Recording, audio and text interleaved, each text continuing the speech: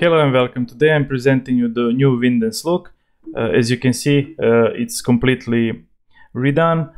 Uh, we have introduced the new UI and the new UX, so let me present it. The first thing you will notice the pages on the top.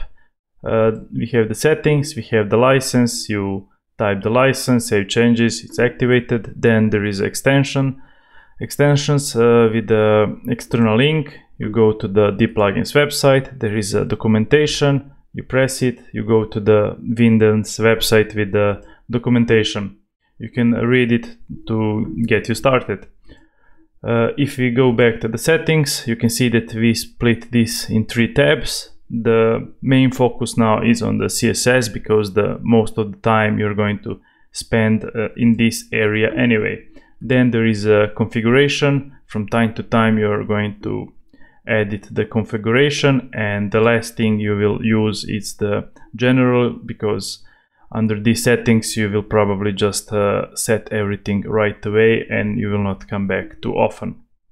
Uh, we introduced the some of the new copy here. For example, if you go to the Gutenberg, before it was just enable Gutenberg blocks, but most of the people didn't understand what it means. So we rewrite some of the labels. For example, here uh, now it's quite clear that uh, under the Gutenberg integration, you have enabled Tailwind Preview for Gutenberg Editor and the detect apply classes for compiling the CSS. So the added classes to the elements can kind of be detected and also be compiled.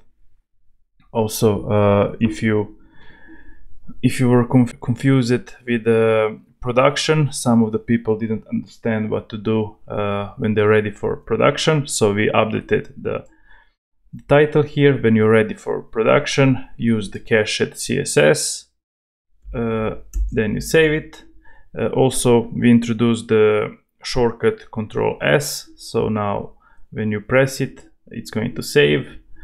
Then what you can see also it's a new look for the for the statuses we styled the table so it's quite easy to now scan it and see it. Also the updated label here view css file so when you press it you will uh, get the css row.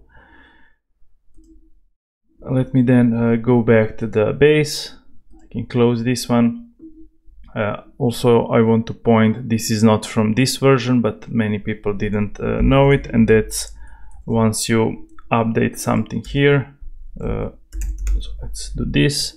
It's going to live reload right away even if the changes are not saved. So what you can do is press save changes and everything is going to be saved. Also for the night owls we introduced the dark theme as well.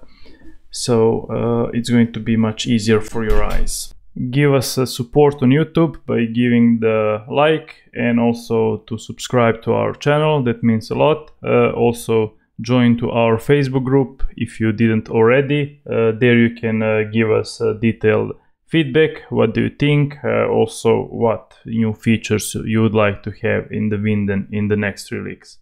Thank you for watching and see you soon with the new one. Bye!